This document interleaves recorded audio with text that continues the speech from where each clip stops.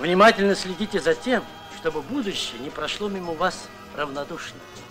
Это раньше было колесо истории. Сейчас она мчит на четырех.